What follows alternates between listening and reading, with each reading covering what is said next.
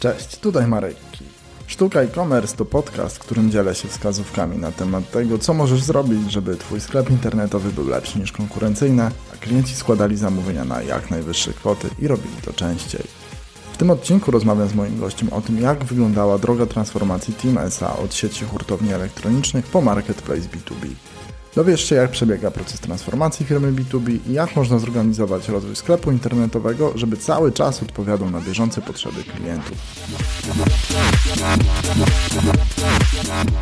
W sztuce e-commerce już kilkukrotnie poruszałem temat wdrożeń e-commerce B2B. Każdorazowo ten proces był przedstawiany jako skomplikowany, pełen wyzwań i nie zawsze gwarantujący sukces. Podobnego zresztą zdania byli moi goście, którzy w sumie wnieśli kilkadziesiąt lat doświadczenia do rozmów, więc myślę, że zgodzisz się ze mną, że coś musi być na rzeczy. W tym odcinku przedstawię Ci perspektywę od kuchni, bo poznasz bliżej firmę Team SA i platformę Team.pl, która przeszła naprawdę długą drogę od sieci hurtowni elektrotechnicznych przez ambitny sklep B2B, aż po marketplace B2B, którym jest dzisiaj. Myślę, że to super ciekawa perspektywa, bo zazwyczaj trudno wejść głębiej w inne organizacje i tam szukać inspiracji dla Twojej firmy. Dzisiaj moim gościem będzie Krzysztof Rogalny, który może bardzo dużo powiedzieć o rozwoju Team.pl, bo pracuje w firmie na stanowisku kierownika Wydziału Rozwoju i Technologii. Krzysiek wcześniej budował swoje doświadczenie m.in. w Ceneo, a teraz odpowiada za strategiczne projekty e-commerce, rozwój platformy Team.pl oraz koordynowanie prac zespołu projektowego. Mam nadzieję, że ta rozmowa Ci się spodoba i da Ci dużo inspiracji, bo mam w planach o wiele więcej rozmów z ludźmi, którzy pracują blisko organizacji i rozwoju e-commerce. W końcu e-commerce to sztuka, a każdy punkt widzenia jest bezcenny. Tyle tytułem wstępu. Mi pozostaje zaprosić Cię na moją rozmowę z Krzyśkiem o tym, jak wyglądał rozwój Team SA w e-commerce. Cześć Krzysiek. Cześć.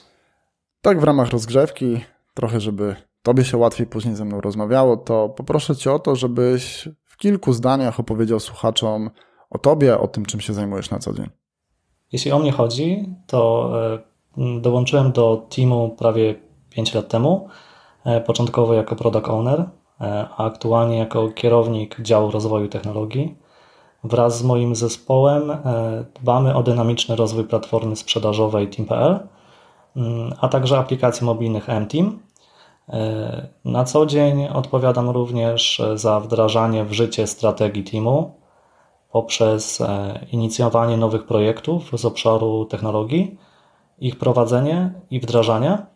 Poza tym, oczywiście, do moich obowiązków, e, do moich aktywności należy inspirowanie i wspieranie mojego zespołu w tej drodze. Mhm, a dla ludzi, którzy e, nie są z branży i nie wiedzą, co znajduje się pod magicznym adresem team.pl, to mógłbyś tak w dwóch słowach opowiedzieć, czym e, handlujecie na platformie? Jasne, to może tak. Team.pl to sklep internetowy firmy Team SA. Team SA jest największym dystrybutorem materiałów elektrotechnicznych w Polsce, e, liderem swojej branży. Swoją ofertę kierujemy do klientów biznesowych i profesjonalistów, e, więc no, sprzedajemy przede wszystkim tego typu asortyment. Działamy w modelu hybrydy, czyli połączenia kanału online i rozbudowanej sieci sprzedaży. E, mamy 16 biur handlowych w całej Polsce, blisko 300 tysięcy produktów w ofercie e, i sprzedaż na poziomie 930 milionów w 2020 roku. E, no i dzisiaj jesteśmy tak naprawdę spółką e-commerce, spółką technologiczną i Team.pl jest jej główną częścią. Mhm, ja śledzę wasz rozwój. E, myślę, że też dużo firm i w branży, ale też poza branżą, tylko bardziej na przykład e, tych firm, które handlują w modelu B2B. E, sporo jest firm, które też się za wami oglądają, też patrzą na was trochę jak na takie, taki benchmark, w jakim kierunku można się rozwijać. I ja bym chciał dzisiaj trochę o tym kierunku waszego rozwoju porozmawiać, o tej drodze, którą przeszła firma Timesa w ostatnich latach. No i mam też nadzieję, że uda mi się trochę od Ciebie wyciągnąć e, takich informacji od kuchni, jak to wszystko u Was po prostu wygląda. Powiedz mi, jeżeli dobrze zanotowałem, to wasza sprzedaż internetowa wystartowała w 2013 roku, tak? No, zgadza się.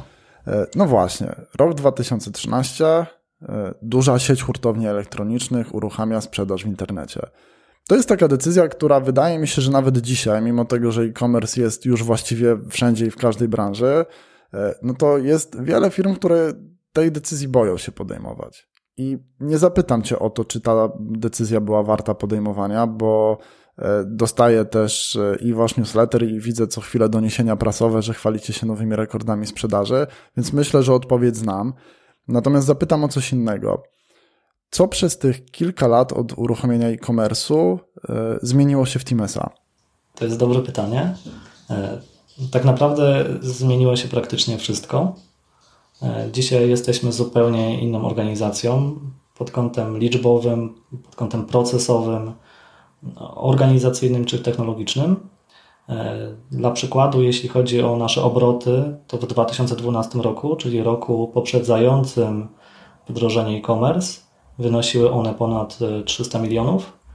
Dzisiaj sięgamy po 1 miliard, e, więc to jest olbrzymia różnica nawet na samych takich prostych liczbach. E, oczywiście to, co się stało, nie było zamachnięciem czarującej różdżki. To był e, dłuższy proces, e, gdzie największym wyzwaniem było przekonanie do zmiany myślenia nie tylko naszych klientów, ale i pracowników, którzy nierzadko byli wierni modelowi tradycyjnemu. Wiązało się to z olbrzymią wewnętrzną zmianą organizacyjną. E, stąd no właśnie niezwykle ważna była e, silna wizja zarządu teamu. E, aby to osiągnąć, tak jak wspomniałem, organizacja musiała się przegrupować, przemodelować procesy biznesowe i sposób działania. Wcześniej sprzedaż była realizowana przy olbrzymim udziale przedstawicieli i handlowców w oddziałach handlowych, które praktycznie były samozarządzalne. Aktualnie, biorąc pod uwagę wszystkie aspekty, e, unifikujemy procesy i je centralizujemy. Postawiliśmy na wzrost znaczenia e, wszystkich działów back-office'owych. E, odciążamy w ten sposób właśnie naszą sprzedaż z takich aktywności niesprzedażowych E, takich jak e, reklamacje czy zwroty. E, to pozwala uwolnić cenny czas naszej załogi i po prostu poprawiać potencjał klientów. Relacja handlowców z klientami też się zmieniła. Wcześniej klienci po wejściu do oddziału lub przez telefon zadawali tak naprawdę trzy główne pytania czy jest produkt X, za ile go dostanę i na kiedy go dostanę. E, dzisiaj na te wszystkie pytania klient e, może odpowiedzieć sobie przeglądając platformę team.pl. E, no właśnie, powiedziałbym że też, że te pytania, które zadawał wcześniej klient, były no właśnie dość płytkie czy proste, tak? Mhm. Jeśli nie mieliśmy produktu X, klient pójdzie do konkurencji. Jeśli będzie zbyt drogo, również pójdzie do konkurencji. Natomiast teraz mm, możemy zaproponować klientowi dodatkową wartość, e, właśnie platformę i funkcjonalności, e, które oszczędzają jego czas. E, no, pozwala na, na to technologia, do, którą wykorzystujemy do tego. E, no i oczywiście jakby to wszystko nie byłoby możliwe bez e, takiego silnego umocowania transformacji w zarządzie. I tutaj pra prawdziwe szapoba dla prezesa i całego zarządu w tamtym okresie, który przeprowadził organizację przez no jednak tak trudne zmiany. To właśnie dzięki nim ten tak trudny proces transformacji cyfrowej zakończył się sukcesem. Mhm, a możesz, gdybyśmy tak trochę geograficznie nawet spojrzeli, bo kiedyś to były e, małe oddziały, tak jak mówię, jest takie w miarę autonomiczne, plus jedna centrala. więc no, ta taka organizacja była dość mocno rozproszona. Czy wy dzisiaj dalej utrzymujecie te wszystkie oddziały zewnętrzne, czy to też uległo zmianie? Tak, utrzymujemy oddziały, natomiast są to bardziej biura handlowe. Mhm. Jest ich 16 w najważniejszych punktach na mapie, w największych miastach. Natomiast są to biura handlowe. E, nie prowadzimy sprzedaży e, bezpośrednio na miejscu. Wszystkie zamówienia wyjeżdżają z magazynu centralnego w Siechnicach, z naszego centrum logistycznego firmy 3LP. Mhm. Więc jakby ten model działania zmienił się no, bardzo, bardzo mocno. Czyli właściwie teraz wszystkie e, operacje magazynowe się scentralizowały, a te oddziały zewnętrzne tak naprawdę służą głównie po to, żeby te zamówienia ewentualnie zbierać od klientów. Mm, zgadza się. Mhm. Oczywiście tutaj jest y, bardzo dużą rolę odgrywa platforma Team.pl. Mhm. E, handlowcy i przedstawiciele handlowi e, są w terenie dlatego że no jednak tego oczekuje w pewnym sensie klient biznesowy, oczekuje e, no, takiego bliższego kontaktu, e, takiej relacji indywidualnej, więc przedstawiciele handlowi i handlowcy, którzy są na miejscu, są w stanie dojechać do klienta, porozmawiać z nim, e, przedstawić ofertę, przedstawić właśnie, jakby zaprezentować platformę Team.pl, więc ta rola jakby no tutaj się, się zmieniła mm, na naszej sieci sprzedaży. Mhm, będę chciał o tym wszystkim pewnie z Tobą za chwilę też porozmawiać. Natomiast jeszcze zahaczę o mm, sprzedaż online i offline, bo jak rozumiem, y, to nie jest tak, że Wy się staliście tylko e-commerce'ową firmą. Sam wspominałeś trochę o hybrydzie. E, czy mógłbyś podać tak mniej więcej chociaż proporcje E, sprzedaży tej internetowej w stosunku do, nazwijmy to, analogowej? Tak naprawdę od początku sklepu e, to się zmieniało. Jakby sprzedaż online i kanał e-commerce bardzo dynamicznie rósł i aktualnie jesteśmy na poziomie, gdzie kanał online stanowi u nas 70% sprzedaży, E, a kanał offline 30%. I taki mm, balans utrzymuje się i jest dla nas po prostu naturalny. Mm, ze względu na to, że jakby offline e, stanowi czy składa się na e, obsługę tematów inwestycyjnych, nierzadko wielomilionowych, które oczywiście z uwagi na swoją specyfikę wymagają absolutnie indywidualnego podejścia.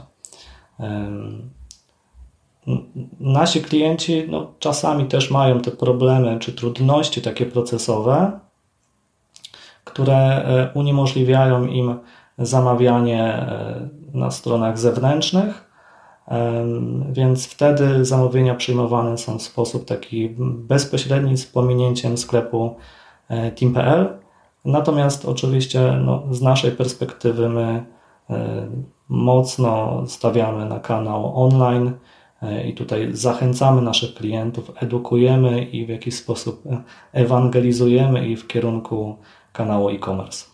Mhm, a są tacy klienci, którzy, e, no bo mówiłeś, że są klienci, którzy mają no, różnego rodzaju problemy, które wymuszają na nich zamawianie offline. Natomiast są tacy klienci, którzy pływają sobie pomiędzy tymi kanałami, czy to raczej jak już e, klient się zdecyduje na coś, to już tam po prostu zostaje? E, z reguły klienci e, w jakiś sposób przyklejają się do jednego kanału, natomiast oczywiście jakby to jest płynne. Nawet klienci inwestycyjni, którzy mają przed sobą duży projekt wielomilionowy, przyjdą do nas jakby po taką indywidualną ofertę i relację. Natomiast ten sam dokładnie klient w innym przypadku może złożyć zamówienie e, samodzielnie na platformie Team.pl e, i to się zdarza, więc e, pewna płynność jest, myślę, zachowana tutaj.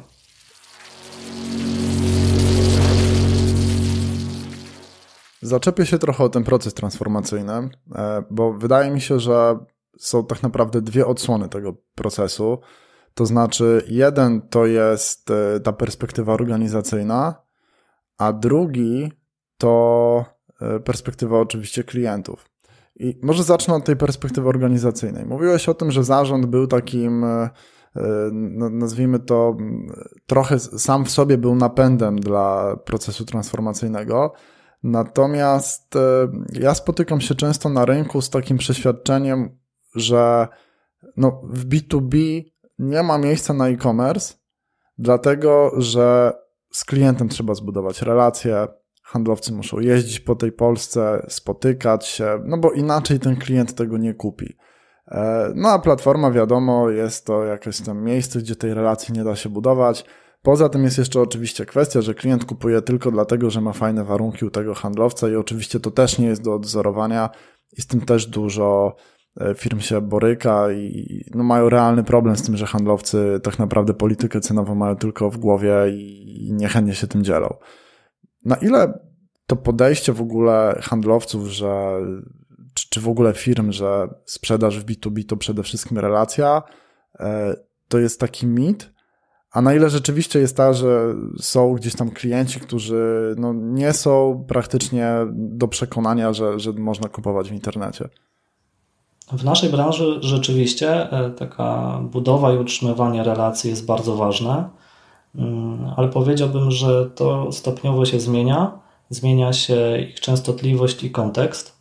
Mm, wiesz, kiedyś mm, taki pan Zbyszek, instalator, jechał do swojego zaprzyjaźnionego hurtownika, e, tam dobierał produkty, e, towary, e, pił kawę i wracał z zamówieniem. Nierzadko mógł na to stracić pewnie pół dnia.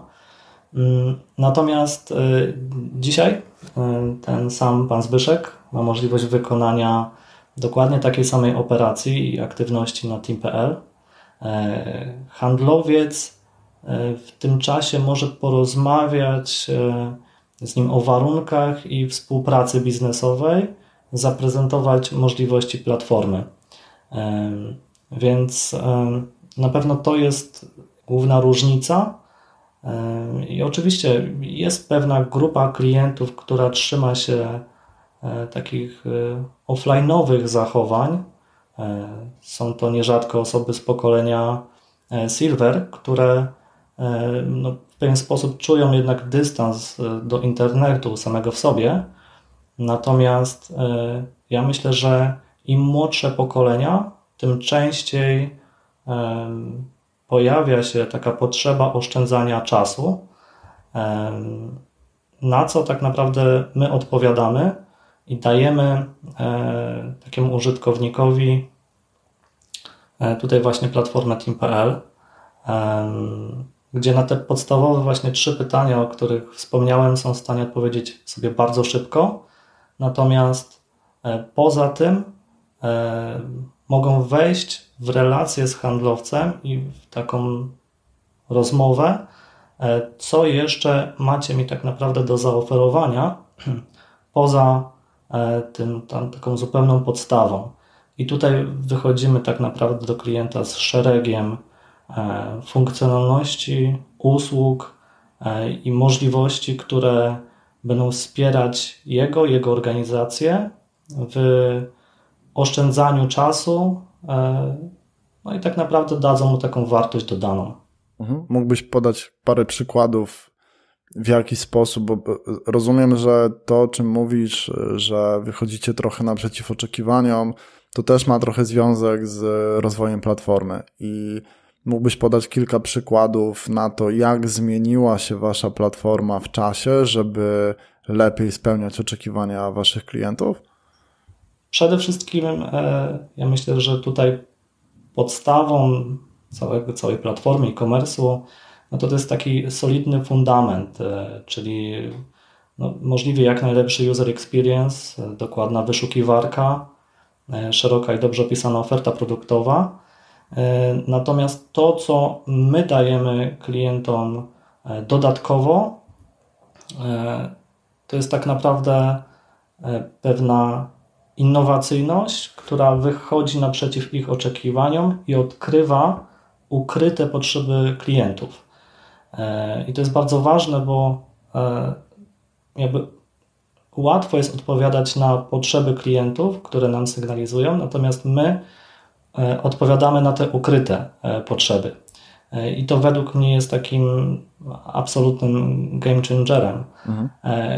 Klienci mają różne oczekiwania i potrzeby, ale w sumie taką częścią wspólną, tak jak wspomniałem, jest czas.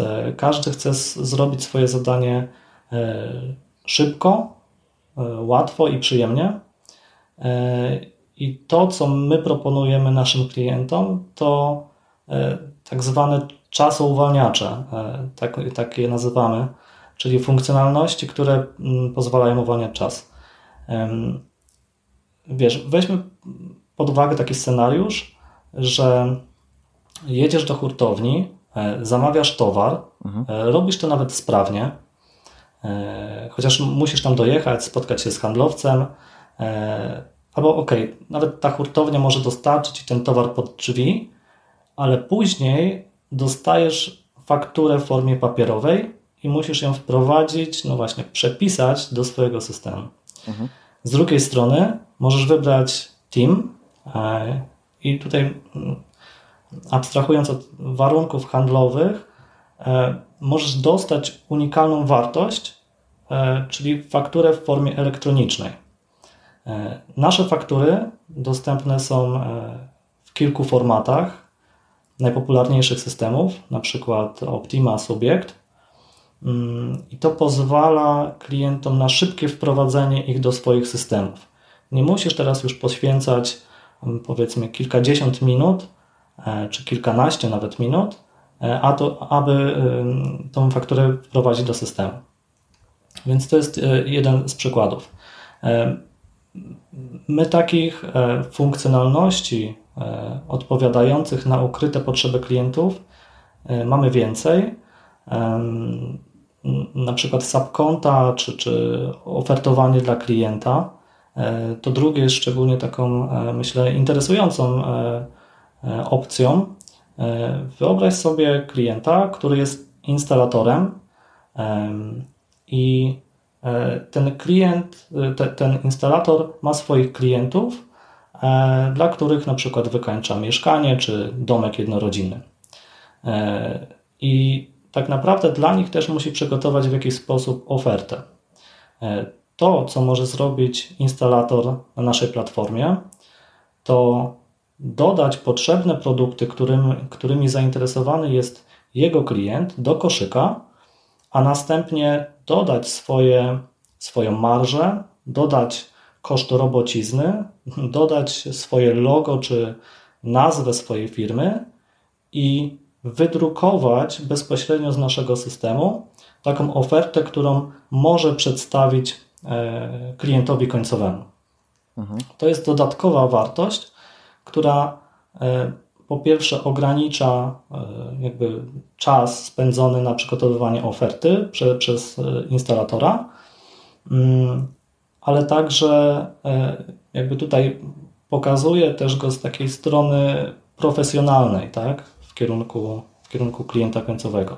No i wtedy, jeżeli klient końcowy zaakceptuje ofertę instalatora, instalator Mm, praktycznie automatycznie jest w stanie e, zlecić zamówienie na tym koszyku, e, dlatego że te produkty wciąż są u niego zapisane na, e, na koszyku. Więc to są funkcjonalności, które ułatwiają naszym klientom pracę, zaoszczędzają czas i myślę, że to jest wartość dodana, którą dajemy naszym klientom. E, I z tego względu myślę, jesteśmy też w jakiś sposób e, konkurencyjni na rynku. E, patrząc z takiej perspektywy, też to, to jest, mając taką platformę na zapleczu i takie procesy, sieć sprzedaży jest w stanie też pokazać klientowi jakby zalety takiej, takich zakupów online. Czyli trochę wychodzicie z tym modelem rozwoju e-commerce'u w kierunku dostarczenia klientowi po prostu narzędzia pracy. Tak, bardzo często o naszej platformie mówimy właśnie platforma, dlatego e, że to już nie jest zwykły sklep internetowy, e, to jest miejsce, to jest system, który, który klienci używają zupełnie no, na co dzień. Tak? E, to jest ich narzędzie pracy, które jest otwierane w momencie wejścia do firmy, do biura i zamykane o godzinie powiedzmy 16, tak? Mhm. Więc to jest narzędzie, które cały czas jest odpalone nierzadko na e, wielu zakładkach w przeglądarce e, i które po prostu pomaga e, klientom w codziennych obowiązkach. Mówiłeś trochę o tym, że to jest odkrywanie ukrytych potrzeb i ja wiem, jak można wdrażać potrzeby, które zostaną zaadresowane, bo to jest łatwiejsza sprawa. Natomiast zastanawiam się, jak u Was wygląda proces e, odkrywania tych potrzeb, o których Wam po prostu klienci nie mówią? Czy to jest tak, że e, nie wiem, handlowcy obserwują ich pracę, czy jest to jakiś tam bardziej efekt Waszych wewnętrznych, nie wiem, badań, e, rozmów indywidualnych, burza mózgu wewnątrz zespołu? No właśnie, myślę, że to nie jest proste pytanie i prosta odpowiedź. Jakby te pomysły mm, pojawiają się z różnych stron. Myślę, że głównym e, miejscem jednak jest e, obserwacja naszych klientów, ich codziennej pracy. E, obserwacja i zadawanie właściwych pytań. Gdy rzeczywiście mm, wdrażaliśmy kody, kody EA na naszych produktach, obserwowaliśmy w jaki sposób nasi klienci wprowadzają i wyszukują produkty e, na platformie. E, I to, co zaproponowaliśmy naszym klientom, to naklejanie etykiet na e, ich produkty, które na przykład mają już w swoim, w swoim magazynie i szybkie mm, skanowanie ich za pomocą czytników kodów EAN. Więc tego typu no, w jakiś sposób innowacyjny, mm, innowacyjne podejście, które zaproponowaliśmy klientom, jakby zrodziło się z obserwacji ich w ich naturalnym środowisku. Więc e, to jest, myślę, jedna ścieżka. Drugą ścieżką e, jest z pewnością też jakby tutaj nasza obserwacja danych e, analitycznych, czy, czy, czy taka kreatywność po prostu zespołów projektowych, e, które często generują wiele pomysłów, wiele inicjatyw e, i nierzadko spora część z nich nie jest wdrażana na sklep, natomiast, natomiast są takie właśnie perełki, które trafiają w potrzeby użytkowników e, i e, no i właśnie odkrywają ich taką ukrytą, ukrytą potrzebę. To, co mówisz, brzmi tak bardzo startupowo, to znaczy jest jakiś ten proces badawczy, jest wdrażanie, są testy.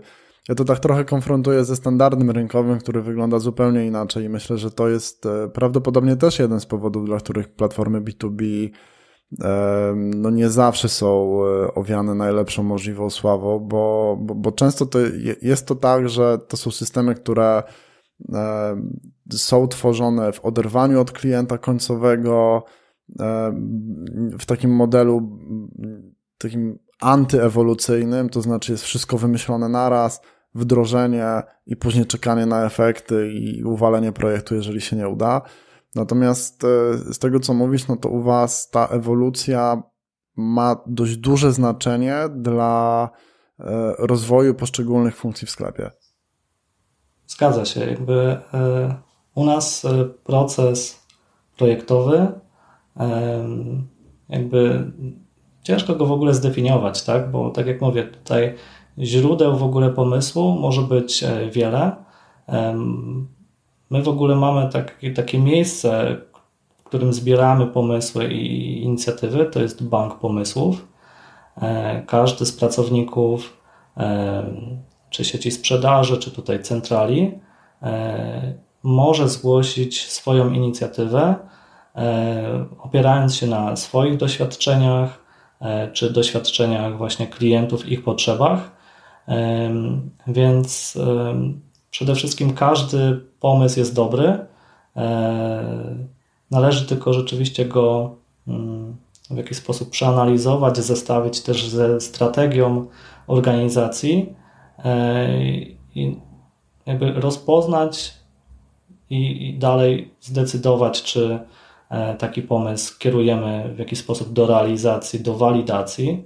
E, podchodzimy też e, do tematu w ten sposób, że jednak każdy pomysł jest pewną hipotezą, więc tak naprawdę dopóki nie wdrożymy jakiejś minimalnej części tego pomysłu albo mm, w jakiś sposób nie zwalidujemy tej, tej, tej hipotezy, to tak naprawdę nie jesteśmy do końca pewni, czy, czy to był trafiony pomysł.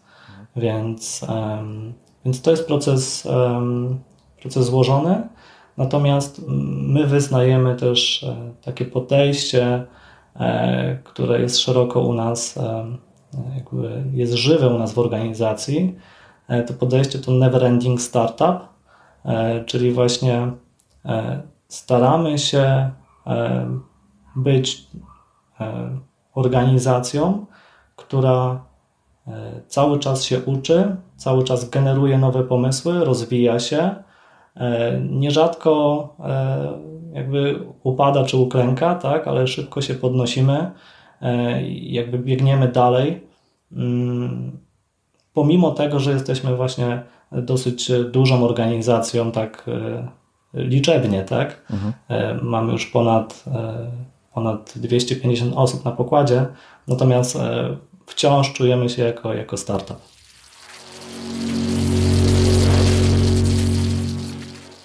Trochę zmierzamy w kierunku tego mm, konstrukcji waszego zespołu i, i, i składu tych osób, które są gdzieś tam odpowiedzialne za e-commerce. Mógłbyś tak pokrótce opisać, jak wygląda w ogóle ten zespół rozwojowy od strony ról, obowiązków, może liczebności? Jasne, tutaj e, od razu na wstępie zaznaczę, że w team nie mamy jednego centralnego zespołu, który odpowiada za e-commerce. E, każdy dział, wydział i zespół w mniejszym lub większym stopniu jest odpowiedzialny za doświadczenia zakupowe naszych klientów. No tutaj na pewno myślę, że wiodącymi działami oczywiście jest sprzedaż, marketing, y, który jest odpowiedzialny na przykład za social media, performance marketing, czy Wydział Zakupów i zespół zajmujący się ofertą produktową. Y, ale tak jak wspomniałem, każdy wydział tutaj y, ma swoją mniejszą, większą cegiełkę w doświadczeniach zakupowych. My, jako dział rozwoju technologii, e, łączymy te wszystkie pomysły i inicjatywy. E, można powiedzieć, tak już technicznie, backlog e, projektowy. Mm, priorytetyzujemy te inicjatywy, a następnie no, wdrażamy na, na nasz e-commerce. Jeśli chodzi o nasz dział, to jest taki zespół E, crossdyscyplinarny. E, w tym momencie jest to 16 e, osób i, są, i mamy takie kompetencje techniczne i biznesowe. W naszym, w naszym zespole mamy takie role jak specjalista do spraw e-commerce, designer, projektant UX, deweloperzy wraz tutaj z kolegą, który jest testerem. E, no i tutaj jeszcze e, mamy rolę product ownera, który spina tutaj wszystkie działania e, rozwojowe na platformie Team.pl. Taki zespół pozwala nam na sprawne i skuteczne wdrażanie pomysłów w życie. Oczywiście wspieramy się też, też często partnerami zewnętrznymi, dostawcami IT, którzy razem z nami no właśnie biorą udział w rozwoju wielu funkcjonalności i, i wielu projektów. Mm, więc tak jak wspomniałem, tutaj to jest taka zbiorcza praca wielu zespołów i, i całej organizacji. Wspomniałeś też o tym, e, że część prac jest też wykonywana w kooperacji z partnerami zewnętrznymi. Mógłbyś pokusić się o porównanie. No nie, nie, zapytam, co jest lepsze, bo to myślę, że każdy sobie powinien odpowiedzieć sam, czy lepiej pracować z zewnętrznym dostawcą, czy mieć zespół wewnętrzny. Natomiast czy mógłbyś porównać, czym się te podejścia e, i, posiadanie własnego zespołu versus współpraca z wykonawcą zewnętrznym, czym, czym to się różni? My rzeczywiście ostatnio postawiliśmy na budowanie kompetencji technicznej, technicznych wewnątrz organizacji. Z naszej perspektywy e, było to podyktowane mm, chęcią zapewnienia takiego bezpieczeństwa, stabilności i niezależności naszego głównego systemu, mhm. Team.pl. No, dlatego, że tak naprawdę ten, e, ten jeden system, e, oczywiście to nie jest jeden system, tak? My mamy jakby tutaj cały ekosystem e, systemów, tak, takich jak CRM, ERP, WMS. Natomiast ten cały ekosystem z Team.pl mm, jakby tutaj na froncie daje nam 70% przychodów. Więc uznaliśmy, że powinniśmy mieć kompetencje techniczne wewnątrz organizacji do utrzymywania i dalszego rozwoju tego systemu. Natomiast, e, tak jak wspomniałeś, e, jakby, e, oczywiście wspieramy się też dostawcami zewnętrznymi, głównie gdy uruchamiamy nowe, duże projekty. Wtedy dostawcy zewnętrzni dają nam taki dodatkowy bufor, przestrzeń do tego, aby te duże projekty realizować szybko, sprawnie Mm, i, i zgodnie z harmonogramem. E, e, no właśnie, biorąc to pod uwagę, no nie jesteśmy w stanie jednego dnia pozyskać pięcioosobowego zespołu deweloperskiego. Dlatego e, taka właśnie współpraca z dostawcami jest też z naszej strony konieczna i oczekiwana. Tak Biorąc to jeszcze pod uwagę, to e, czasami zdarza nam się też pracować w takich modelach łączonych, e, gdzie część zespołu jest po naszej stronie, a część po stronie dostawcy. E, wtedy mamy jeden backlog, jeden cel projektowy, wspólne spotkania i tak. Mhm. I no, zależnie od projektu podchodzimy do tego tematu elastycznie. E, natomiast oczywiście widzimy mm, wady i zalety e, obu podejść. E, natomiast myślę, że tutaj warto spojrzeć z perspektywy jakby dwóch właśnie organizacji, firmy handlowej i na przykład software house'u i spojrzeć na ich kontekst, w jakim te dwie, te, takie dwa podmioty pracują. Mhm. Bo to jest myślę też kluczowe do zrozumienia tego, jakie są e, jakby zalety i, i wady obu podejść. E, firma handlowa utrzymuje swój produkt, czyli no, w naszym przypadku sklep internetowy, platformę TPR. I, I cała organizacja ma sformatowaną strategię, cele i zadania, E, no, w zasadzie w kierunku jego rozwijania. E, wiemy, że konwersja w tym produkcie e, pracuje na całą naszą organizację i nasze wynagrodzenia. Troszeczkę inaczej jest to w przypadku Software House'u. Software House jakby no tutaj generuje swoje obroty na projektach i wspieraniu Mm, klientów, partnerów zewnętrznych. Więc Software House ma kontekst projektowy. Więc tutaj czasami może się tak zdarzyć, oczywiście to jest rzadko case'em, tak, że niektóre aspekty mogą zostać hmm, utracone. Tak? Mam tutaj na myśli na przykład e, jakość w projekcie. Mhm. E, software House może przekazać do klienta projekt, który był zbudowany e, z myślą oczywiście o spełnieniu celu, celu projektowego, ale jakby dalszy rozwój tego produktu za rok, dwa czy pięć może być utrudniony. Mhm. W przypadku wewnętrznego zespołu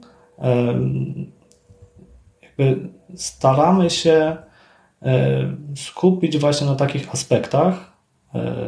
Wewnętrzny zespół e, zna dziedzinę biznesową, wiemy jakie mamy plany strategiczne e, i możemy e, zadbać o nasze produkty, bo wiemy, że tak naprawdę będziemy nad nimi pracować w tym roku, za rok, za dwa i być może za pięć też. Więc to jest taka perspektywa długofalowa. W przypadku e, takiego zespołu wewnętrznego możemy też wypracować takie jednolite, jednolite standardy pracy, e, których później też możemy w jakiś sposób oczekiwać od naszych dostawców. E, no i właśnie to, co jest, e, co jest, co jest myślę bardzo istotne, to to, że mm, stajemy się e, w jakiś sposób bardzo merytorycznym partnerem dla naszych dostawców w rozmowach technicznych. Więc jesteśmy naszym partnerom w stanie przekazać jakby taką esencję wiedzy biznesowej i technicznej, jak to wygląda u nas, tak aby partnerowi też e, pracowało się dużo sprawniej w projekcie. Mm. E, jakby z perspektywy, z perspektywy naszego zespołu wewnętrznego, ja też lubię przyglądać się współpracy naszych deweloperów, w szczególności frontendowców, E, z naszymi projektantami UX e, i designerami. Jest to taka bliska współpraca, gdzie, gdzie deweloper może podejść do grafika, zapytać, e, co miałeś tutaj na myśli, dlaczego tak zostało to zaprojektowane. Mm, to pomaga nie tylko w wzajemnej komunikacji i zrozumieniu się, ale też takiemu pozytywnemu challenge'owaniu się. Frontend developer może wskazać grafikowi, że jeśli coś zostałoby zrobione może w inny sposób, ale równie dobrze, e, to zajęłoby nam mniej czasu. E, więc e, taka komunikacja jest na pewno korzystna dla obu stron, no właśnie, no i całej organizacji. Natomiast, tak jak wspomniałem, mm, tutaj na pewno nie mamy takiej elastyczności. W momencie, gdy otwieramy nowy projekt, tak naprawdę samodzielnie nie jesteśmy w stanie go podnieść. Więc partnerzy zewnętrzni i dostawcy e, pozwalają nam na e, tutaj no właśnie uruchamianie takich projektów i dają nam dodatkowy bufor. Minusem troszeczkę też zespołu wewnętrznego może być pewna rotacja. I to też warto podkreślić, że w momencie, gdy e, zespół jest e, stosunkowo nieduży e, i jedna osoba, jakby, jak to się mówi, postanowi kontynuować karierę w innej organizacji, wtedy zostanie nam mm, jakby tutaj więcej pracy do objęcia, plus dodatkowo jakby taka presja dodatkowej rekrutacji. E, w relacji z dostawcą zewnętrznym e, to ten stres jest jednak zredukowany do e, minimum, dlatego że z reguły, jeżeli powiemy naszemu partnerowi, jakby potrzebujemy kolejnej osoby do projektu, bo przyspieszamy, lub e, taka osoba po stronie partnera też postanie, postanowi kontynuować karierę w innej firmie, to partner z reguły jest dosyć szybko w stanie mm, wypełnić naszą lukę, tą lukę, nie powodując tak naprawdę dużego spadku wydajności. Więc tych, myślę, plusów i minusów jest całkiem sporo i warto jakby dobierać rzeczywiście tutaj do, dobierać podejście do skali działalności, realizowanych projektów, wyzwań, które stoją przed, przed organizacją. Bardzo fajnie i przekrojowo o tym opowiedziałeś, dlatego że ja się też spotykam często z takim podejściem zero-jedynkowym, to znaczy chcemy mieć partnera na zewnątrz, chcemy mieć zespół wewnętrzny e, i tak naprawdę nie ma za tym takiej pełnej świadomości, co tak naprawdę oznacza i jedno i drugie. Bo ja się zgodzę z tym, że obydwa podejścia mają i wady, i zalety, i, i, i tak naprawdę wydaje się, że poza takimi nawet merytorycznymi argumentami zawsze jeszcze pozostaje ten finansowy, no bo trzeba sobie zawsze na spokojnie wziąć na koniec dnia kalkulator, policzyć sobie ile kosztuje obsługa zespołu, obsługa rotacji, obsługa e, no, czy, czy w ogóle zasilenie zespołu jakimś tam, nie wiem, rozmiarem prac, to co powiedziałeś o, o jakiejś tam dojrzałości organizacji i poziomie rozwoju. E, I, I nie jest to wcale takie proste. No, z drugiej strony jest dostawca, który e, też, też to, o czym mówiłeś, no, może e, gdzieś tam mieć problemy komunikacyjne, jakościowe, może mieć problemy z dowożeniem w terminie i problemy wewnętrzne i tak dalej, i tak. Więc fajnie, że poruszyłeś to wszystko. Myślę, że to jest taki fajny otwieracz do oczu dla, dla osób, które no, myślą o tym, że, że to jest tak trochę na zasadzie przełączenia pstryczka, robimy in-house versus robimy e, na zewnątrz.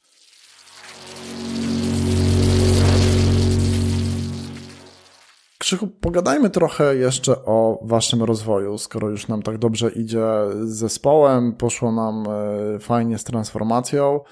Mm, pogadajmy trochę o teraźniejszości, bo z boku patrząc, wydaje się, że dzieje się u Was całkiem, e, całkiem ciekawie. E, mam tutaj na, głównie na myśli to, że na samym początku i myślę, że przez długi czas było tak, że team to były kable, to była elektrotechnika i, i zasadniczo takie ciężkie rzeczy, które zwykłemu Kowalskiemu są raczej niepotrzebne albo potrzebne rzadko, E, szczególnie w okresie urlopowym, kiedy ma do zrobienia remont.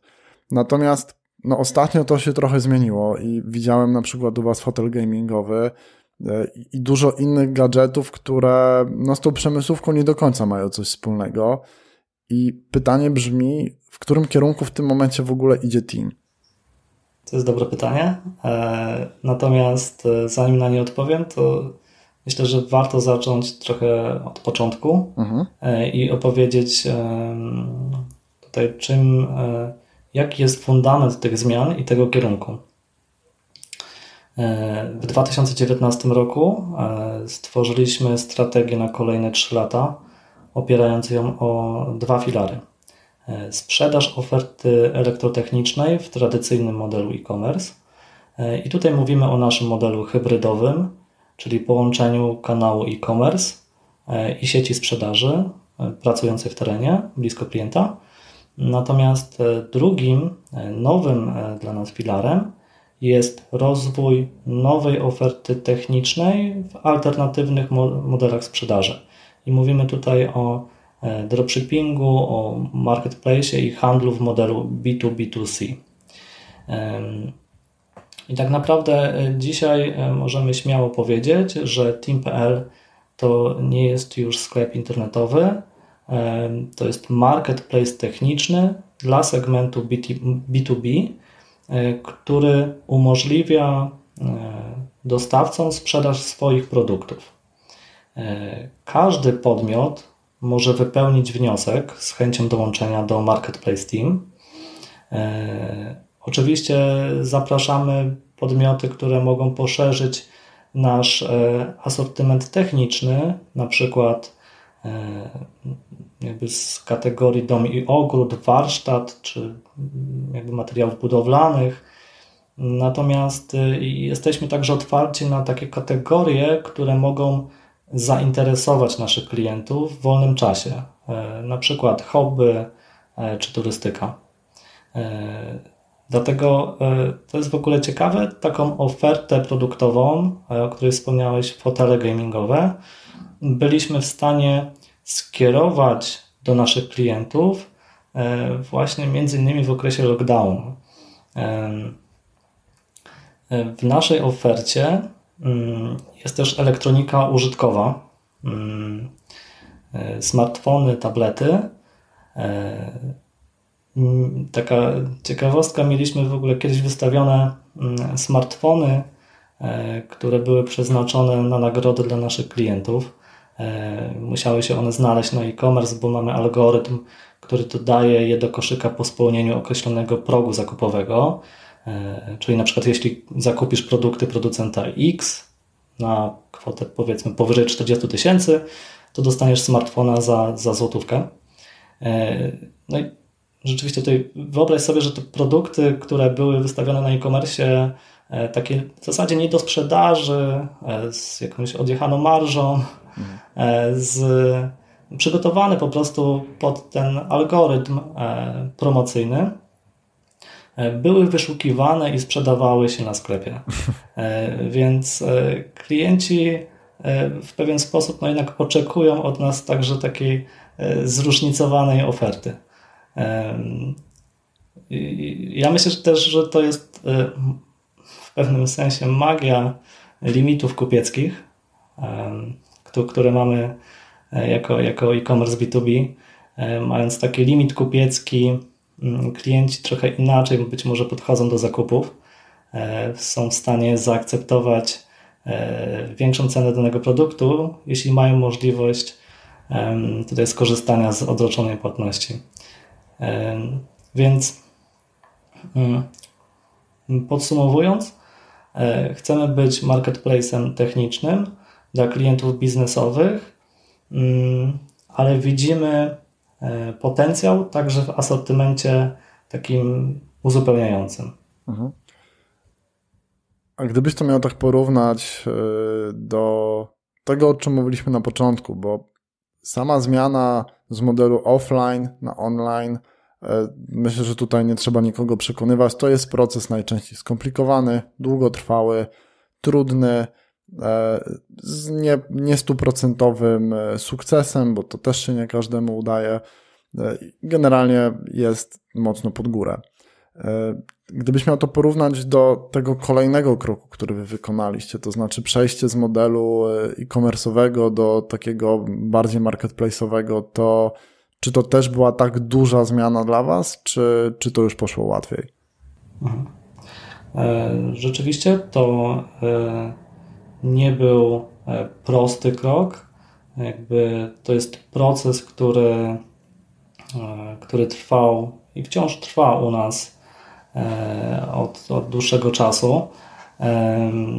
Jakby pamiętam, jakby to było jeszcze dzisiaj, E, jak zaczynaliśmy od e, takiej absolutnie, absolutnie prostej fazy MVP, marketplace'u, inspiracją w ogóle do, do, do rozpoczęcia e, tej fazy była rozmowa mm, z klientami, naszymi resellerami, którzy zwracali uwagę na pewien problem. Zdarzało się, że zatowarowywali się na produkty, które później ciężko było im sprzedać. E, I tym bardziej mając dostęp do wąskiej grupy odbiorców, na przykład z mniejszej miejscowości, e, stwierdziliśmy, że pomożemy im w tej sprzedaży i wystawimy produkty na team.pl. E, wykorzystując nasz model online, zasięgi i klientów, do których docieramy, przygotowaliśmy zupełnie prostą funkcjonalność, dzielenia koszyka. E, później zupełnie z palca na podstawie danych wysłanych mailem wprowadziliśmy te produkty do PIMA e, i ustaliliśmy warunki handlowe. E, Oczywiście, no właśnie później bardzo szybko okazało się, że jest to absolutnie pomysł z dużo większym potencjałem i zaczęliśmy zapraszać do współpracy nowych sprzedawców, którzy nie mieli już problemu z tak zwanymi nierotami, E, ale po prostu chcieli dotrzeć e, do nowej grupy odbiorców, e, profesjonalistów i, i osób technicznych. No właśnie w ten sposób narodził się pomysł na marketplace. I od tego czasu ponownie wiele się zmieniło. To był proces. Zaczęliśmy optymalizować E, tutaj ten e, proces dołączania naszych sprzedawców do marketplace'u, e, włączania ich produktów w naszą ofertę i, i jakby tutaj poprawiania współpracy. Dlatego no, to jest rzeczywiście dosyć złożony, długi proces, który, gdzie wciąż nasz, e, nasz marketplace e, jeszcze rzeczywiście pewnie wymaga e, kolejnych funkcjonalności, kolejnych, kolejnych procesów, które mogłyby działać, działać lepiej, szybciej czy, czy sprawniej. A macie jakieś aspiracje dotyczące samego rozmiaru tej, tej sprzedaży w, przez marketplace, no bo mówiłeś, że 30 do 70 to jest y, stosunek offline do online i, i pytanie, czy chcecie, żeby ten marketplace to było takie y, znaczące źródło zamówień w online, czy raczej jest to dla Was tylko taka kwestia poszerzenia portfela produktowego?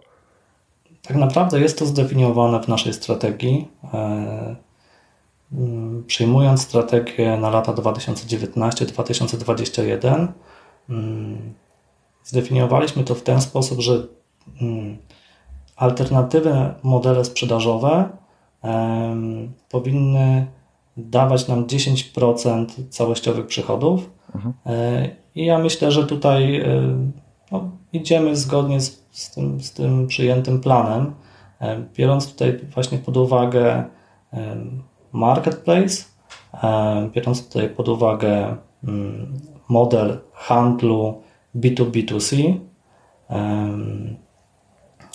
i, i jakby te dwa aspekty w połączeniu chcielibyśmy, żeby stanowiły te 10%. Natomiast ja myślę, że w przyszłości e, to może się zmieniać. E, natomiast aktualnie e, nie mamy jakiejś przyjętej kwoty związanej z liczbą indeksów, czy nie wiem, konkretnie samych zamówień linii zakupowych tak zwanych.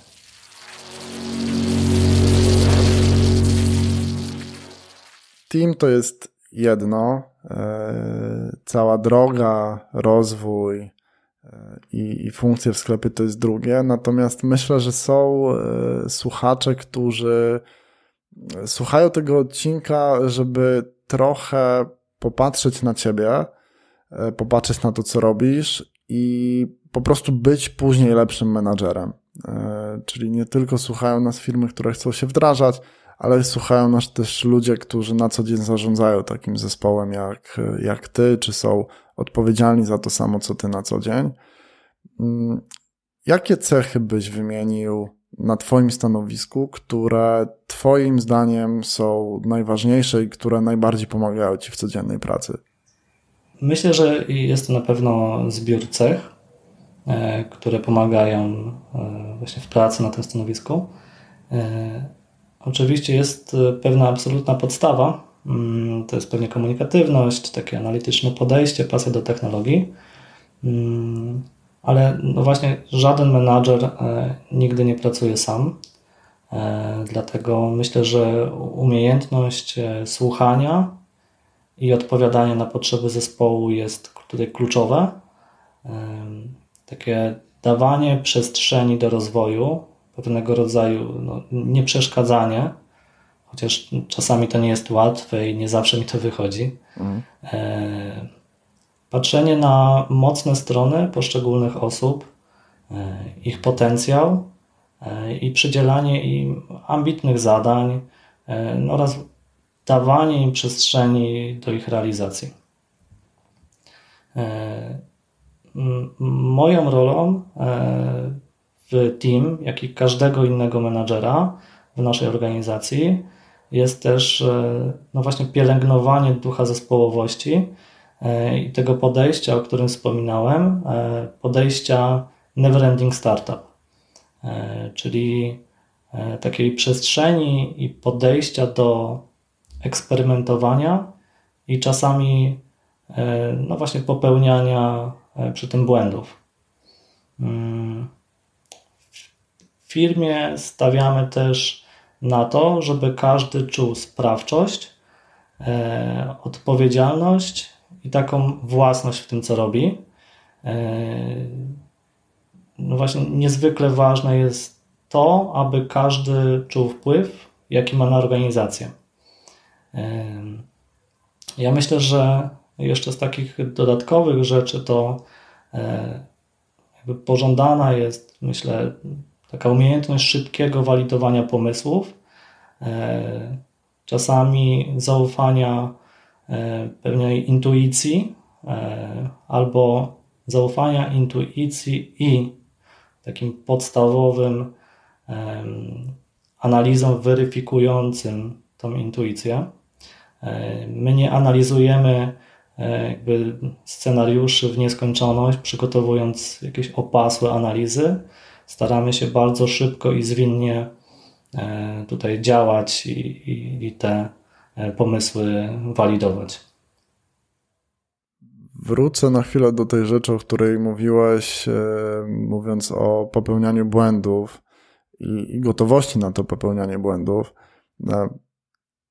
Gdybyś miał teraz odezwać się do tych wszystkich firm, które E, są na tej drodze, na której wy byliście jakiś czas temu e, i, są gdzieś tam u progu wdrożenia, czy planują dopiero wdrożenie e, swojego, swojego systemu, swojej platformy, to z Twojego punktu widzenia, jakie są takie najważniejsze błędy, które można popełnić i których warto się wystrzegać, żeby no, później nie musieć uczyć się na błędach, tylko raczej na cudzym doświadczeniu? Wydaje mi się, że dla firmy, która myśli o e-commerce B2B e, e, i, i, chce wdrożyć e, u siebie kanał online, no, z pewnością największym wyzwaniem jest sama transformacja cyfrowa. Często, nawet ostatnio w podcaście, w rozmowie, jakby zostało to poruszane E, jakby mnogość zmian i aktywności, które trzeba podjąć w tak trudnym procesie, e, a także ich właśnie złożoność może generować wiele błędów. E, czyli brak odpowiedniego podejścia do takiego procesu, brak umocowania, transformacji na poziomie zarządu. Jeśli zarząd nie ma tego w swoich celach, to równie dobrze możemy takiego projektu nie odpalać. E, dalej e, opór przed zmianą wśród klientów, pracowników, szczególnie działu handlowego, brak takiej jednolitej i spójnej polityki cenowej, trwanie jedną nogą w online, e, w offline, przepraszam. Tutaj zagrożeniem, mm, może tak, ja, ja natomiast dodałbym do tego jeszcze wszystkiego e, błędy związane z brakiem e, złapania kontekstu użytkownika biznesowego i odpowiedzi na jego indywidualne potrzeby. E, bo tak naprawdę każdy e-commerce B2B jest inny. Jest oczywiście część wspólna, ale jest także bardzo dużo różnic. Więc inaczej będzie wyglądać wdrożenie i rozwój e-commerce B2B, a inaczej B2C. W pierwszej kolejności no, musimy sobie odpowiedzieć właśnie na pytanie, kim jest klient biznesowy, e, jak różni się od detalicznego. E, no i oczywiście tutaj mówimy o w ogóle wysokości, wielkości transakcji, powtarzalności zakupów, złożoności procesu zakupowego, e, czy, czy, czy czasami ilości decydentów rozstrzygających o zakupie. E, dlatego myślę, że e, tutaj warto być blisko użytkownika. Pojedźmy do naszego klienta, który będzie użytkownikiem naszego e-commerce'u. Zobaczmy, w jakich warunkach pracuje, jakie narzędzia ma do dyspozycji. E, być może jest to zakurzony komputer stojący w rogu, być może wygodniej e, mu jest operować wiem, na klawiaturze. Poznajmy naszego użytkownika, to pozwoli nam unikać błędów, no właśnie i, i na starcie, i w trakcie E, rozwoju naszego, naszego e-commerce'u. Mhm. No to Krzysiek, ostatnia rzecz, czyli pytanie, które zadaję każdemu gościowi sztuki e-commerce. Gdybyś miał zostawić słuchaczy z jedną myślą, apelem, hasłem, e, czyli taką jedną rzeczą, którą chciałby, żeby każdy słuchający tego odcinka e, wziął sobie po prostu głęboko do serca i zapamiętał na dłużej, to co by to było? Trochę wspominałem o, o, o właśnie naszym zespole i o zespołach. E, sam team e, też jest, e, wywodzi się z mm, spolszczonego słowa team, czyli zespół. Dlatego myślę, że to jest niesamowicie ważne i moja myśl jest z tym powiązana, czyli zadbaj o zespół, a zespół zadba o wspólny sukces. Myślę, że team, podobnie jak do tej pory Allegro czy wiem, Ceneo, e, nie posiada zbyt wielu środków takich trwałych. Największą wartością są ludzie. E, to oni kreują nowe pomysły, analizują i wprowadzają je w życie. Myślę, że silnie zmotywowany zespół profesjonalistów pracujących z pasją E, i wyznających wspólne wartości jest w stanie naprawdę no, dokonywać rzeczy wielkie, duże, takie jak transformacja cyfrowa czy, czy e, zmiana modelu e, w kierunku marketplace. Więc to chyba jest najważniejsze. Mhm. Świetnie. Krzychu, dzięki w takim razie za Twoją wiedzę. Trzymaj się i do następnego razu. Dzięki wielkie jeszcze raz za zaproszenie. Do usłyszenia. Mam nadzieję, że po tej rozmowie o wiele lepiej wiesz, czym wiąże się ambitny i dynamiczny rozwój e-commerce. Zanim pójdziesz, standardowo moja prośba. Jeżeli uznałeś ten odcinek za wartościowy, podziel się linkiem do strony marekkich.pl lub do strony tego odcinka, czyli marekkich.pl łamany na 046, chociaż z jedną osobą, która według Ciebie może potrzebować tej wiedzy. Pomożesz i jej, i mi. Będziemy Ci za to bardzo wdzięczni. Pamiętaj też, że możesz śledzić mnie w social mediach. Do wyboru masz fanpage i profile prywatne na Facebooku i na LinkedInie, więc wybierz cokolwiek jest dla Ciebie bardziej komfortowe, natomiast warto, bo wtedy będziemy w bieżącym kontakcie i na pewno już nic Cię nie ominie. Dzisiaj to już wszystko. Dzięki, że wpadłeś i do usłyszenia następnym razem.